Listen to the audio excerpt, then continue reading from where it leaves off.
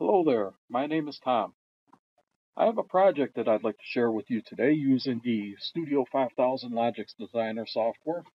Today I will be creating a new routine in the main program. I'm going to scroll down here for a little bit. In today's materials is going to be the Allen Bradley Compact Logix Controller and I'll also be using the Studio 5000 Logix Designer software.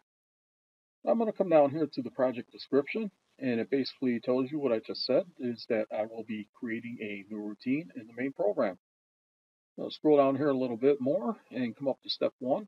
Here in step one, I will be adding a new routine. Step two, I will be giving that routine a name and a description.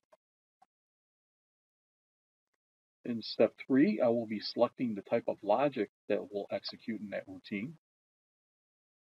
And the same thing here in step four. And step five, the routine has been created. But now there's a few more steps here because I have to call up the routine to make this routine work. So that's what I will be doing here in step six. And here in step seven, I will be assigning the routine. And I'll come down here to step eight in step 8, you can see that I'm actually starting to eliminate some of the extra instructions in the jump to subroutine. And that completes creating a new routine. So we're going to go to the hands-on portion of the video now.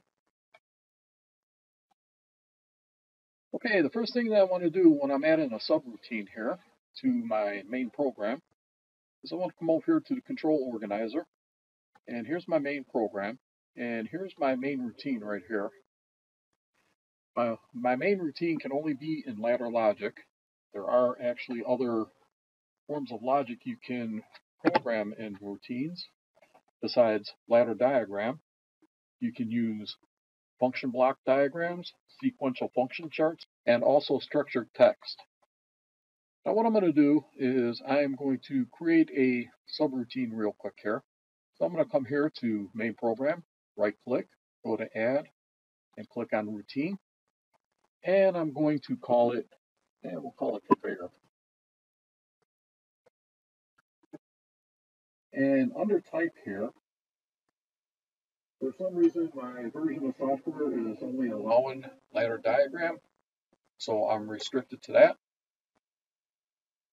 And in the main in program here, you could have multiple programs. And this is actually where you would select which program you want to call from. And in program, we'll leave it as main program here. And under assignment, I'll leave it as none. And I'm going to click OK. Now I have a subroutine here called conveyor. As you can see, there's nothing in there. But I'm going to add a little logic here because I want to show you something real quick. And I'm going to call this start.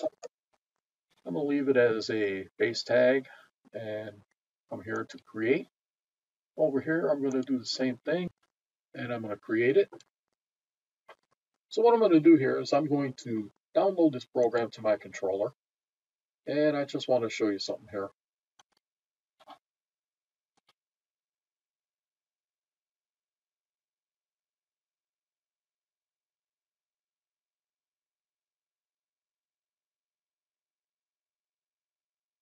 Okay, I'm online with the controller now.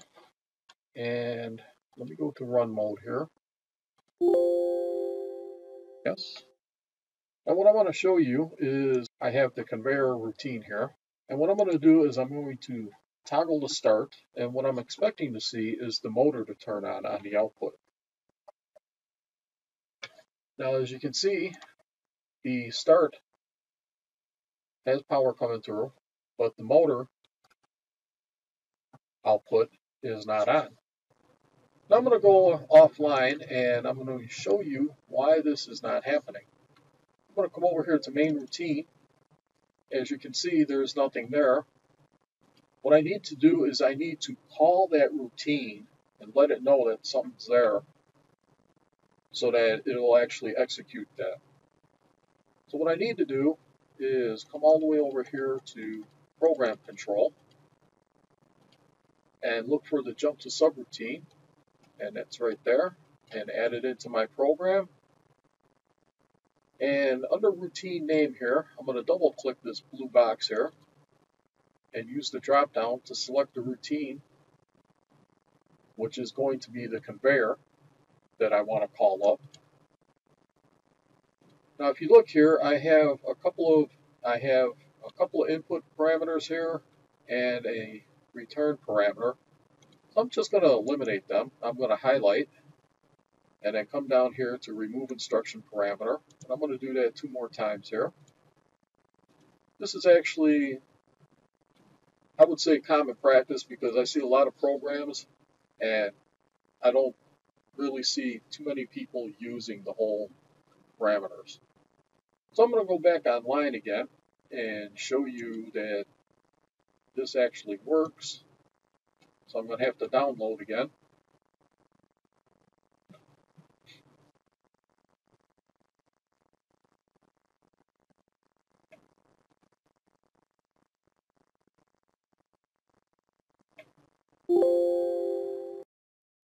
Okay, I'm online. Now you can see that I am in run mode. I have power on the power rails here, and with no inputs on this rung here to the jump to subroutine, means that it executes every scan. So I'm going to come back down here to the conveyor routine and click on that. And as you can see, the start is not energized. So what I'm going to do is I'm going to toggle the start and I'm expecting the motor to energize. So here we go. I toggle the start and you can see the motor has energized. So that's about it for this project. So if you liked it or you learned something, let me know. Leave a comment. Otherwise, I'll see you next video.